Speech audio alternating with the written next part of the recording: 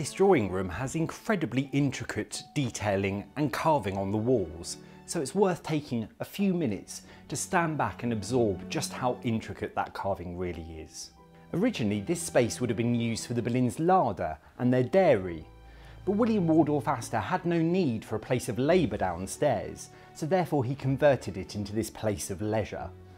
The panels are based on those found at Sizergh Castle in Cumbria, and most of the panels are unique in design. See if you can spot the repeat pattern. What do you do with a medieval tower that you no longer require for defensive purposes? William Waldorf Astor had his converted into a cocktail cabinet. Let's have a look.